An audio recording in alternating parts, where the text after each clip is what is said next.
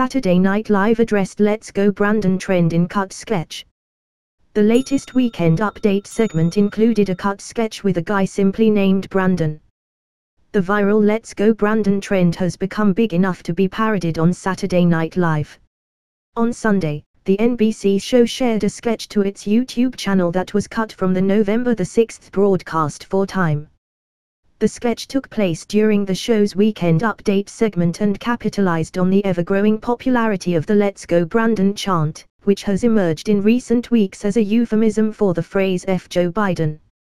The sketch sees regular weekend update correspondent Michael Che invite an average person named Brandon, played by cast member Kyle Mooney, on the show to discuss the phenomenon. There I was a pretty average guy the Brandon character states at the top of his interview. I'm living with my aunt, kind of like Spider-Man but without the superpowers. However, it quickly becomes apparent that Brandon does not understand the hidden, anti-Biden meaning behind the Let's Go Brandon phrase and instead thinks that people are just particularly excited to see him succeed right now. I was feeling kinda down. That's when, all over the internet, people started cheering me on saying let's go Brandon. All the support was just the boost I needed to focus on my true passion, my famous cookie creations. With that, the clueless Brandon pitched his bright idea to make cookies that are square, speculating that perhaps the idea is why people are so jazzed about him at the moment.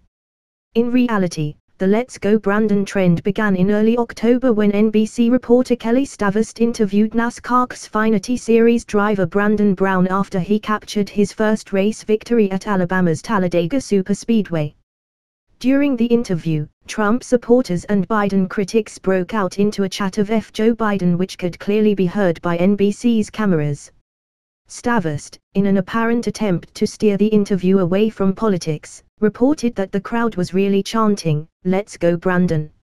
At that moment, the internet turned the reporter's misstatement into a viral cultural mainstay with Americans all across the country chanting the phrase Let's go Brandon at sporting events, including it in viral pranks, billboards, memes, and the phrase even made it on the dress of a Republican congresswoman. When Che informs his guest of the true meaning behind the joke, Brandon is beyond distraught. So I'm a joke. It's a joke to be Brandon. He says as the crowd sympathized with him. Like when my uncle tweeted let's go Brandon he wasn't talking about me. And when those random guys at the football game chanted let's go Brandon they weren't talking about me.